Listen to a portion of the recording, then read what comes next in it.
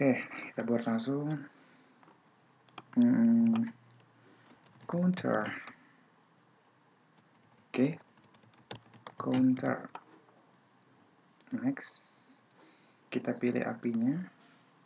Aku mau pakai api yang ya jadi bin aja, teman-teman. Next, empty activity, and then biarkan main activity dan loading. Oke, kita tunggu. Nah, ini dia program kita teman, udah jadi. Di sini langsung aja seperti yang udah kita pelajari kemarin. Oke, kita mau buat uh, ini kan relative layout. Kita ganti jadi linear layout. Yang pertama itu dulu. Kemudian sini ada error, katanya more. Ya harus ada orientationnya. Tapi sebelum itu kita buang dulu yang nggak penting. Nah Android orientation vertikal oke teman-teman. Nah yang pertama kita buat adalah text. Text view. Width-nya itu word content dan ini adalah match parent height-nya itu word content juga deh. Oke okay. android. Text teksnya adalah 0 ini untuk angkanya. Atau pertama tim A dulu deh. Tim A kemudian ya seperti ini. Kemudian kita copy. Ya di sini langsung 0 kita kasih yang 0 nah seperti ini teman-teman. Jadi tim A 0 nah kemudian kita kasih button. Button.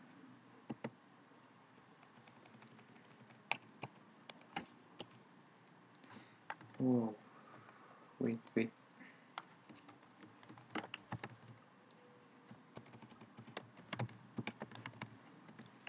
button uh, wrap content height-nya wrap content juga.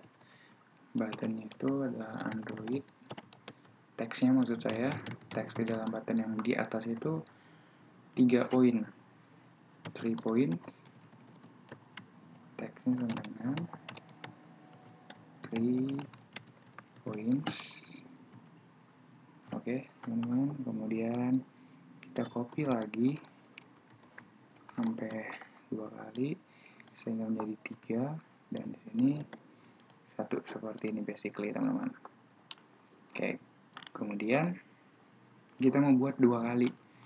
Kita mau buat dua kali jadi seperti ini. Nah hanya saja teman-teman yang perlu kita perhatikan adalah lihat seperti ini. Aduh kalian kelihatan nggak ya? Zoom zoom zoom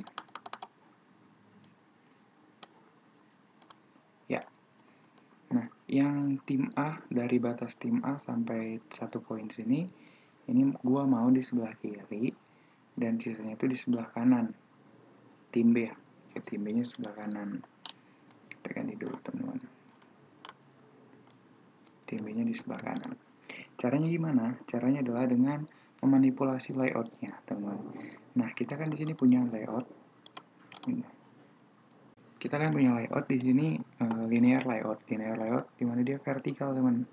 Ke kanan ya kan?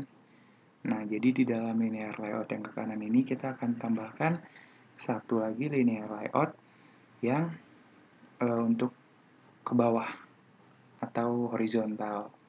Oke kita coba aja. Jadi seperti ini. Pertama kita balik ke teks kita tambahkan linear layout di dalam linear layout jadi linear layout. Match parent width-nya web content nah ini itu Android. Android. Salah teman-teman. Sini. Android kita kasih uh, or orientation ya teman-teman. Orientationnya adalah kita mau buat kita mau buat uh, linear uh, vertikal maksudnya. Vertikal. Kenapa vertikal? Nanti gue jelasin. Nah untuk yang dari tim A bagian tim A dari saat mulai dari tim A sampai satu poin kita pindahin ke linear ini seperti ini. Kemudian kita buat lagi linear layout. Linear layout. Seperti ini Android orientation tetap vertikal digunakan enter. Sisanya kita masukin ke dalam. Seperti ini teman-teman. Kita masukin ke dalam. Paste. Nah dia memang seperti itu. Kalau kita ganti orientation menjadi horizontal. Kemudian kemudian teman-teman uh, ininya kita ganti jadi ini kan pair nih. Kita ganti jadi wrap content.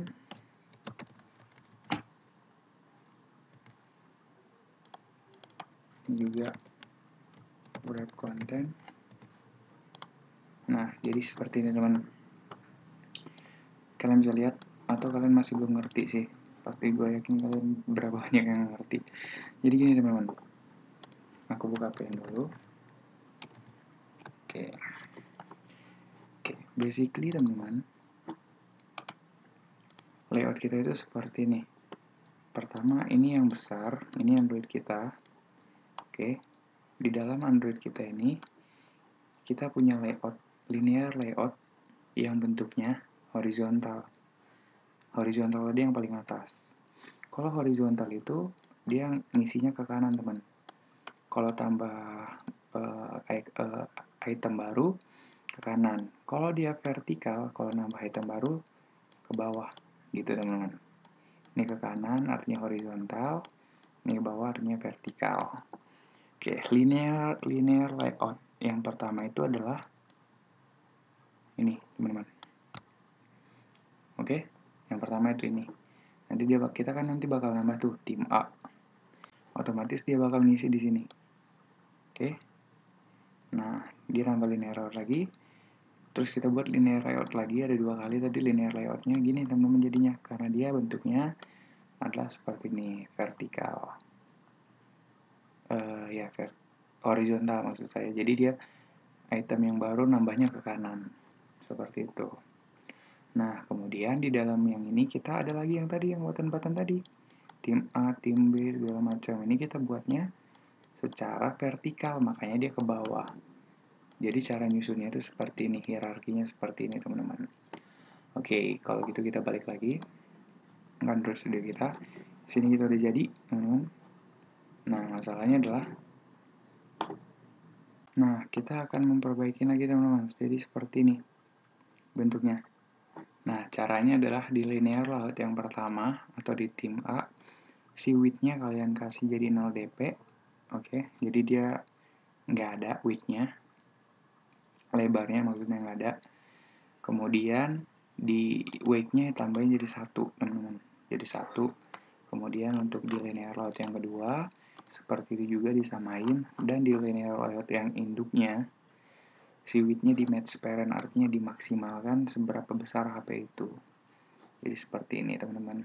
Kalau kalian mau buat ke tengah tinggal buat aja di sini graffiti-nya Android graffiti center uh, center horizontal.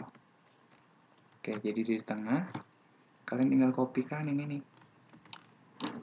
Di bawah sini. Jadi di tengah sama-sama di tengah.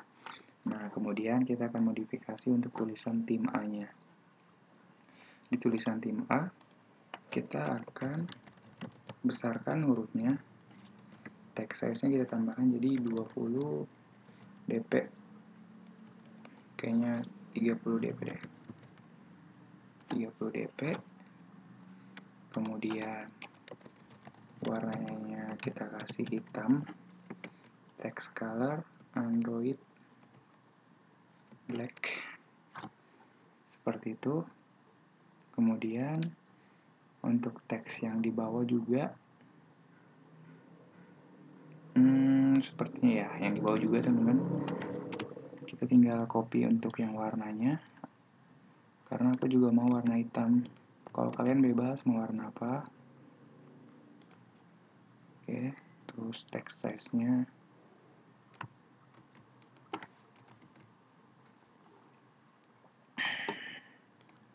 ya.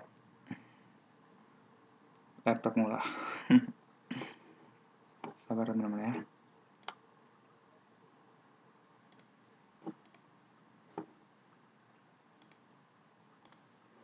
Oke, jadi seperti ini teman-teman. Tapi jarak si O-nya ini, si 0 ini dengan di atas terlalu dekat gitu. Saya mau jauhin. Caranya gampang teman-teman. Kalian tinggal Android, margin, top. Ternyata ditambahin jadi 16 dp kali.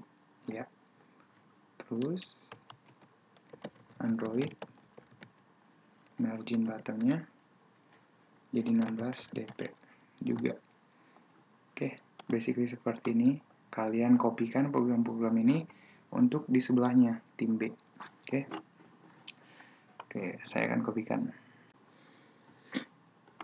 oke teman-teman jadi sepertinya udah kelihatan bagus. Kemudian yang kurang adalah tinggal tombol resetnya teman-teman. Tombol reset. Jadi uh, kita tinggal buat tombol resetnya di sini Oke, kalau gitu cek kita kerjain. Yang kurang teman-teman adalah tombol resetnya. Jadi tombol resetnya itu kalau bisa ada di bawah ini teman-teman. Oke, di sini. Nah, tapi kalau kita mau seperti itu, kita harus modifikasi linear linear layout kita ini teman-teman. Karena lihat layout yang di sini kan dia oh horizontal orientationnya kan ya Artinya, kalau kita nambah item lagi, dia akan nambah ke kanan, teman. Nah, bukan ke bawah. Nah, makanya kita butuh yang namanya relative layout. Jadi, kalian tinggal buat di bawah XML ini, relative layout, seperti ini. Kemudian, teman-teman, eh, kalian eh, nggak sembarangan buat linear layout atau relative layout untuk induk loh. Untuk induk itu dibutuhkan beberapa kode penting. Jadi misalnya nih, yang perlu kalian copy itu lah ini, misalnya XMLS yang ini, yang Android sama toolsnya, kalian Ctrl X, paste ke situ, oke. Okay. Kemudian untuk toolsnya, nih kalian Ctrl X, kalian paste di bawahnya, oke. Okay. Kemudian untuk ID-nya juga, ini teman-teman ID-nya. Kalian kopikan lagi. Kemudian untuk uh, ininya teman-teman. Ukurannya seperti ini. Kemudian kalian tutup. Nah relatif layout ini ini menjadi file induk. Jadi tutupnya harus paling bawah. Oke nggak ada error teman. Oke seperti itu. Nah setelah itu jadi di dalam semua ini tergabung oleh relative layout, di mana di dalam relative layout itu ada linear layout, teman-teman, yang bentuknya horizontal. Di dalam horizontal itu ada linear layout lagi, ada dua biji, yang vertikal. Vertikal itu untuk ini. Oke, seperti itu. Nah, untuk menambahkan tombol reset, sebelum relative layout ini ditutup, kalian tambah yang namanya uh, button atau kita bisa copy paste dari sini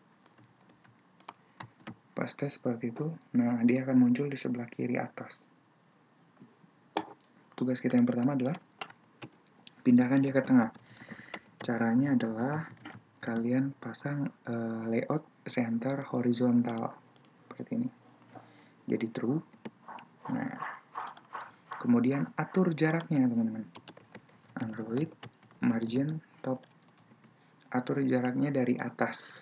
Jarak dari atasnya kita mau berapa anggap 300 dp nah seperti itu. Tinggal namanya kita ganti yaitu reset. Oke. Seperti ini teman-teman. Ya lumayan lah untuk kita yang mulai belajar. Jadi kalau tambah 3 poin di sini akan berubah jadi 3 kalau di sini 3 poin di sini juga akan berubah jadi 3 teman-teman. Nah kemudian kalau tekan tombol reset dia balikan 0 seperti itu. Oke, mungkin untuk tutorial kali ini bagian tampilan sampai di sini doang karena uh, takutnya videonya kepanjangan, uploadnya gede banget. Oke, langsung gua akan lanjut di video untuk bagian Javanya. Di part berikutnya kalian bisa langsung cek aja. Dan thank you for watching. Sampai ketemu di video yang lain. Salam kopianan. Controlling.